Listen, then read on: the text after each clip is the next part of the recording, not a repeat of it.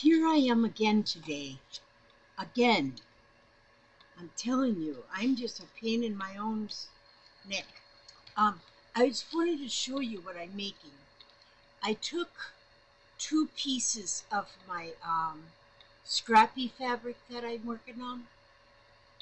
I make just scraps, 10 inch squares every once in a while, and just pile them up. And then I think it's something I want to do with them. Well, I wanted to make a little owl. So I took a piece of paper here and I cut what I think was a shape like of an owl. Well, first it was too fat, so I folded it right here. And it made like the shape of an owl. And so this is what I came up with. And so then, just on the front half, I sewed on a couple of pieces for the eyes and then the little two little buttons for the eyes. And then I took a little piece of orange and I put it there for her beak. And so then what I want to do is I want to reach over here and get my where did I put them? Oh just I gotta get I gotta make my arm a little longer just a second.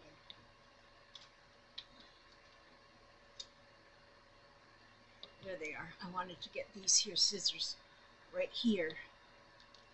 Um, oh, and I just wanted to show you too. I made another one of the of the iron the iron um, age costumes. This one this one absolutely no sewing. Two pieces of the rectangle, one on the front, one is on the back. It is put pinned together at the shoulders, the two rectangles.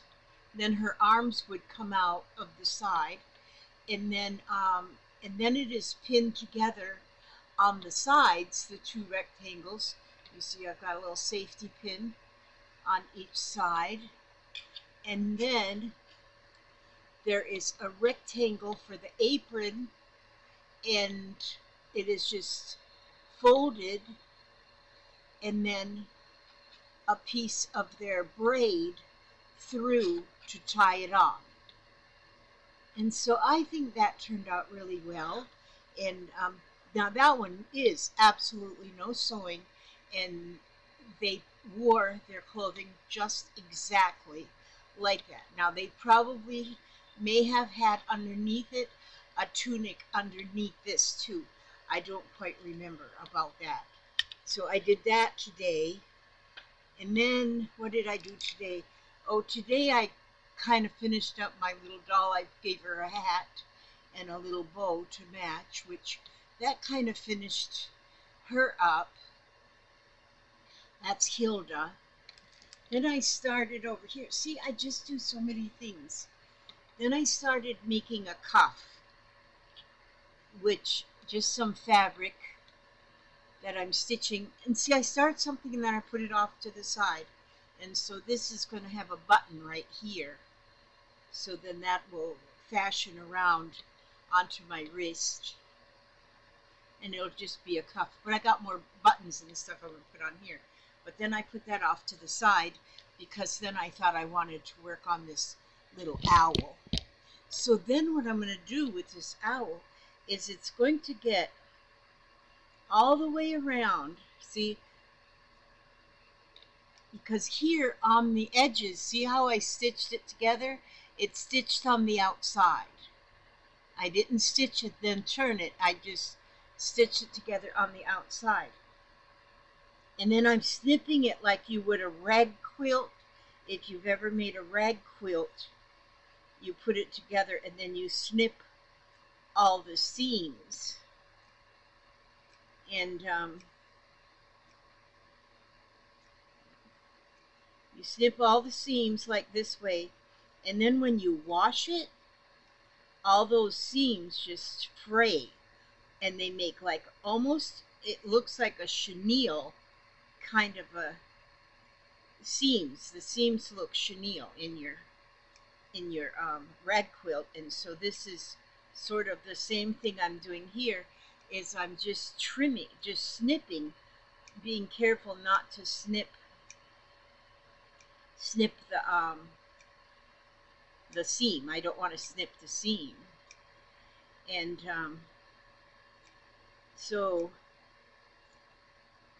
I'm going to go ahead and pause this while I go all the way around.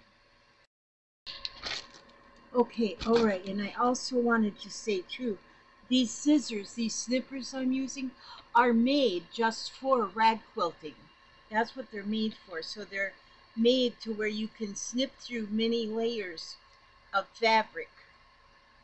Because when you rag quilt, it is usually many layers. And so there I've got the edges, and then you can see how that looks because it's already um, layers of fabric because the way I put the pieces together very um, there's a lot of layers of fabric so then that makes the edge to be very fluffy and so I am almost out of oh my if I run completely what am I going to do running out of polyfill or whatever you call this stuff. I used up what was in a pillow, and then my friend sent me some, and um, I'm going to have to order some more. I don't think it can't possibly be expensive though, so I'm going to just stuff it in there. Stuff it in, stuff it in Let me see if I can just poke it in with this, get it up in her ears. Well, this isn't real good to poke it in with because it's a hook. It wants to hook it back out. Hook it back out. Wait a minute, let me get a pencil. I have a pencil here with an eraser on it. Oh, there's one. Good. A pencil with an eraser. I was told by someone before to use a pencil. In the comments, you guys, I, I read my comments, I learn. But somebody told me use a pencil with an eraser because the eraser pushes on the on the polyfill and makes it go where you want it to go. And which go where I want you to go up in that ear. Okay. I don't know if that's an ear on a, on these little munchkins or not. Is that an ear up there on like a great horned owl? An ear or is that a I guess it's an ear. I'm gonna call it an ear. Yeah, I'm gonna call it an ear. And I'm just going to fill your ear up. Make sure that you got a nice so you can hear. You gotta be able to hear. Certainly. And I don't know why when I make an owl, any kind of owl, it always makes me think of of um, Janet Nash over there in in the UK. She likes her owls too. There was that one time in my life that I was afraid of owls, and I don't even remember why I was afraid of owls and um, maybe it was something my mother said or something i don't know. Because she had me afraid of peacocks too. She said it was bad luck to have a peacock. You know what? I think i don't know where i didn't put the um i didn't put the i still had it on pause. And i was just filming away but i wasn't filming. But i did fill her up. Did you see that? I filled her up with polyfill. I went all the way around with the um, snippers. And then I um, use up the rest of my polyfill to fill her. And now I'm going to have to find some more polyfill. Um, I'm fluffing this is fluffing look at the edge of that. How pretty that is. And that's by stitching not stitching and turning but stitching and then cutting the edges. And look how pretty she turned out. I think she's gorgeous. and she's just a small one because I knew I didn't have much polyfill to make anything bigger. But also because I have 10 by 10 squares that I have uh, quilt made into patchworks. I have a lot of that around, so. But see how fluffy the edges are because I because I made it with my um, scrappy fabrics, you know. And is there anything else I could do to her to make her look more owlish? Put her two little feet down here or something? I just like her just like it is.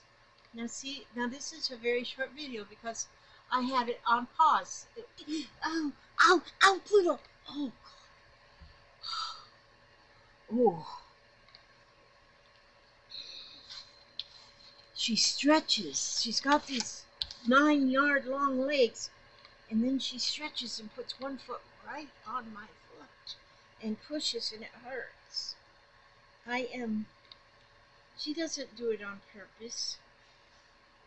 My feet are tender. I'm telling you, I'm a tenderfoot. Okay, enough complaining. I'm the one that lets her come under. But anyhow, that's my little owl pillow now.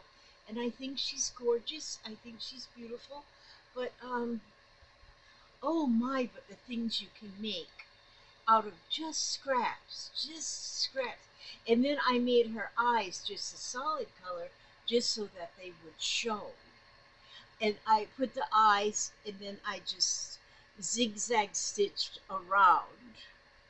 And then see on the but the button parts it says handmade with love. See that? So okay, so what I did with my window now oh Lord preach. See I now you can kind of see what it looks like when it's dark I put all, I put hooks, these sticky things with the hooks, I put them on the windows. I still have a little spot on that side of the window right there because I ran out of the sticky hooks. I'm going to order more from the Temu. And then I just hung that little piece, that little piece of um, quilted piece. I just hung that over the um, over the rod there for now. I might put something else later on, but I just put that for now. But I can still hang things even from that. But I've got all my, like, a jillion necklaces. These were donated to me that I could take them apart and use them for crafts, which I have taken many apart and used them for crafts. And I can even take more. I mean, now I can see what I have because they're all right there. And I think it looks beautiful, just like that. I just love that window. And so that's my window. And there's the, um, the um, shoe rack that Papa put that up on the wall for me. And so I bought just this narrow one. And it was just cheap. It was like $8 for that thing. But it's up there on the wall now and but then I can have things in there that I'm oftentimes because I got my glue sticks are in there, my tape dispenser up there. I've got my thing with all my crochet hooks because I go looking for that pouch and I can't find it. I know I got it somewhere, and there it is. It's right in there now. So my scissors are all in there. I've got a lot of things in there that, um, and things might change around, you know as I have them in there, you know, whatever I need, you know, whatever I'm working on. And so, but everything, everything is coming together as I'm um, getting things.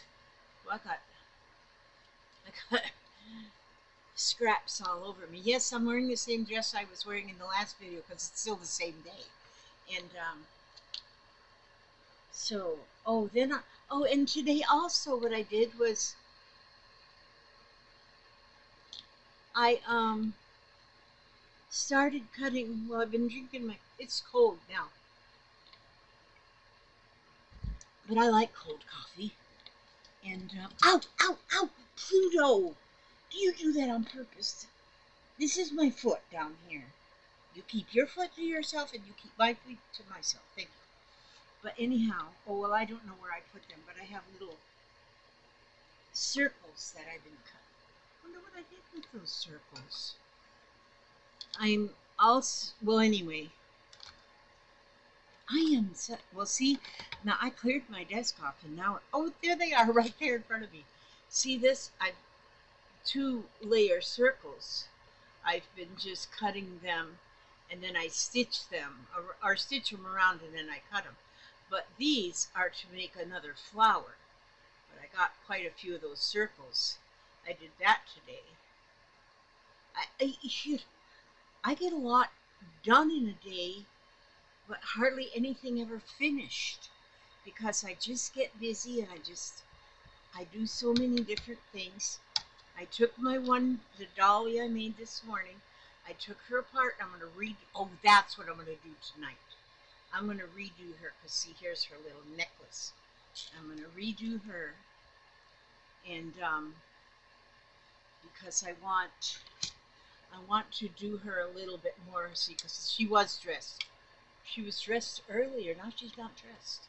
And so, but I've got all her pieces and I'm going to put her back together, but I'm going to put her with a little bit, just a little bit more thought and I won't hurry.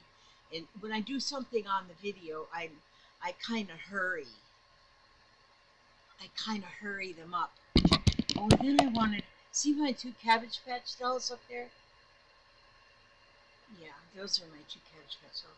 I want to give them I, I decided they need to have some bling, so I'm going to give them a brooch. That's my plan, because I have brooches all over everything, and I want to give them each a little brooch.